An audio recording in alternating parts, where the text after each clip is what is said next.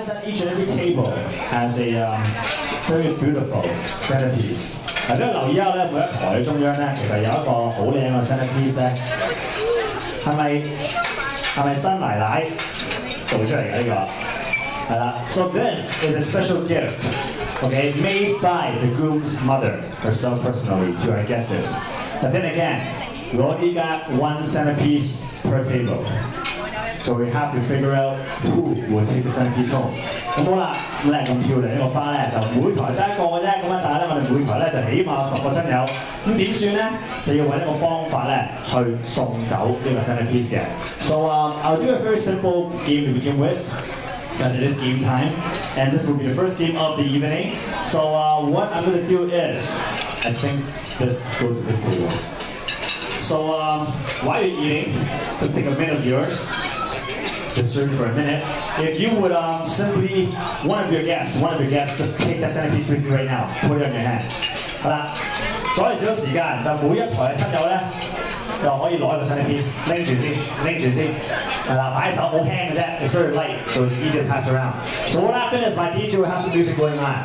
Once the music starts, you can simply pass that centerpiece left, right, clock, counterclockwise, forward across the table, whatever, until music stops.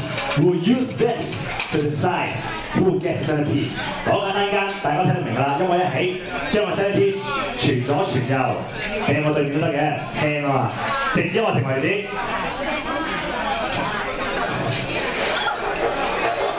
All right, start passing。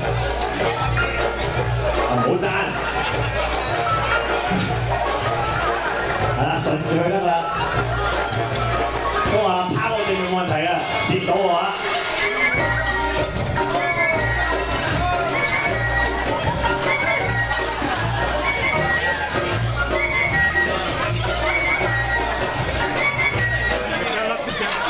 All right, would the guest who has the center, please, please stand up？攞到 senate 各位親友，請起立。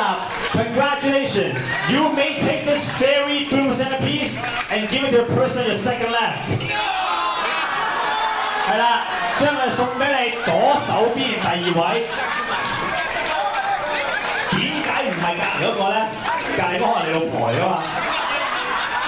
左手邊第二個啊，冇走雞啦。So congratulations, congratulations, take you with you. A little appreciation from the groom's mother.